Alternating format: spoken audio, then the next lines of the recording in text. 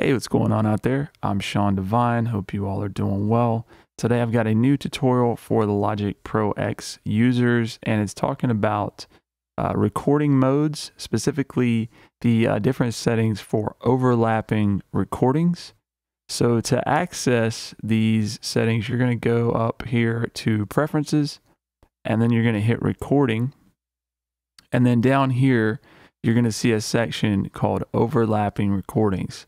Now, this is a very, very important section of settings, especially if you are recording MIDI and audio and you're using Cycle a lot and you want to be able to, you know, overdub or do new versions of things, or you want things to be combined in your regions whenever you're recording, it's a very convenient thing to have this stuff set up right.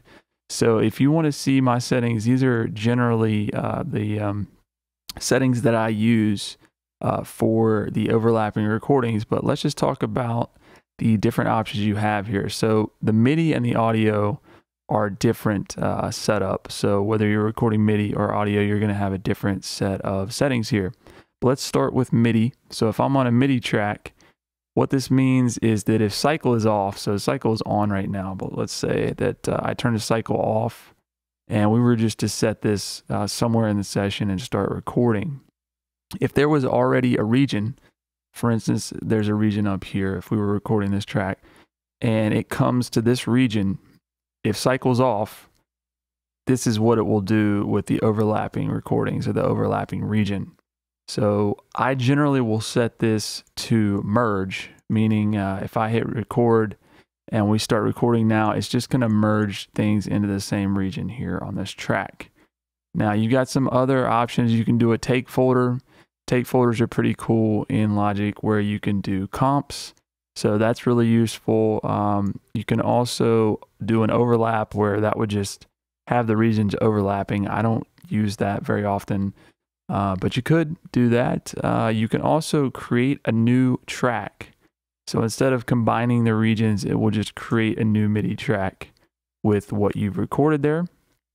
Uh, you can also replace the region that's there. So it will just delete this region and it will uh, record your new track there.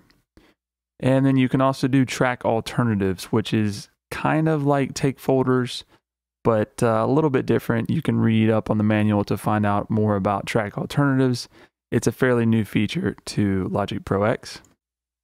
All right, so moving down to the cycle on settings. Now, this is usually what I'm uh, generally focused on, especially when I'm producing. I will usually set the cycle to a certain section. Say I'm working on the intro or I'm working on my chorus or my verse, uh, bridge, whatever. I will set the cycle in that area and then uh, record in that way.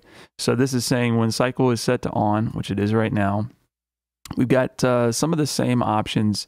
You will see a couple of different ones. You've got a create track and mute, which this is pretty nice because if you want to just kind of jam out, figure out uh, what you want to play specifically, or just go for a really good take, this will create new tracks and mute the previous one. So you'll you'll retain all that stuff uh, kind of similar to a take folder, but uh, instead we're creating new tracks out of it. Uh, you've also got merge current recording only, which I've never used, but I'm just assuming that it just means it will merge into regions whatever you're uh, recording at this current time with the record uh, active. So any existing regions, I assume that it will not uh, merge with those. So let me just show you how this stuff works in action. So right now, let's just say since my cycle is on, we're going to do a create track and mute. So what would happen is, let's just say we've got a piano. Let me just hit record and then we'll uh, see what it does.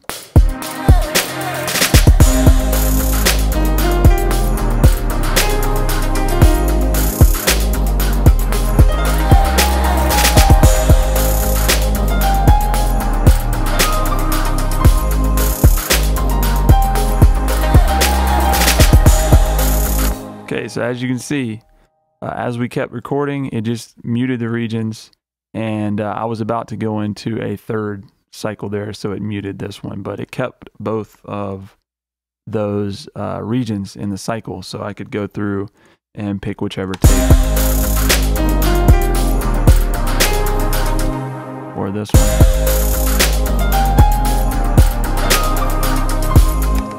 So pretty cool, pretty useful. So that's create tracks and mute. We could also do a replace. So let's hit replace and then we'll start recording.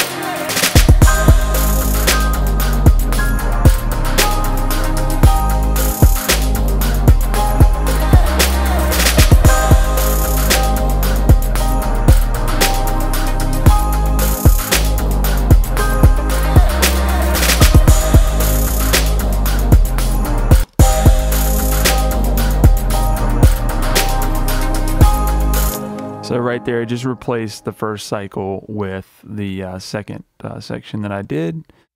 All right, so now let's go to our audio and let's just say that we have cycle off and I'm gonna just record something really quick onto an audio track using my uh, virus synthesizer over here. So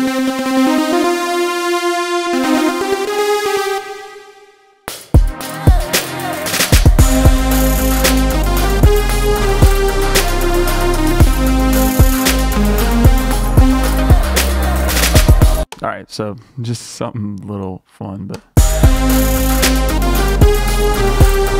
So let's play with that. Let's say cycle's off and we can, again, we can replace it. We can create a take folder.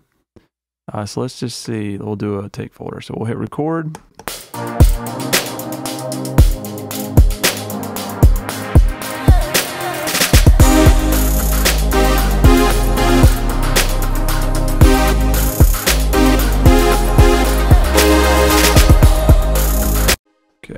So yeah, then it just created a take folder with my two separate takes.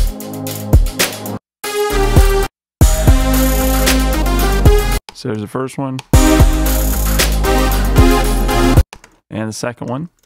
So let's let's try and uh, backtrack here and let's go and do say a cycle and let's do a track alternative. So we'll go here hit record.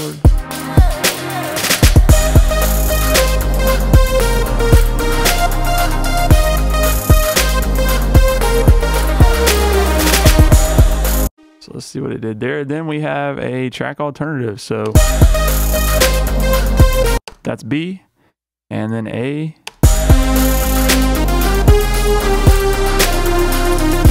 Is the first take I did. So anyways, y'all, a lot of options here for your overlapping recordings. It makes things much more convenient and it really improves your workflow to just tinker with these and figure out which ones work best for you. Um, I've had to adjust these over time depending on how I'm working, uh, whether I'm producing or mixing or recording audio. If I'm working with an artist who may be uh, recording in the booth, then I set these a little bit differently. So you're going to want to know uh, which ones work the best for which situations. And once you get them set up, again, it's going to speed up your workflow and make things much more smoother using Logic Pro X and recording in the DAW. So, anyways, y'all, if you have any questions about overlapping recordings in Logic Pro X, feel free to leave a comment below. If you learned anything in this video, please like and subscribe, and we'll talk to you soon.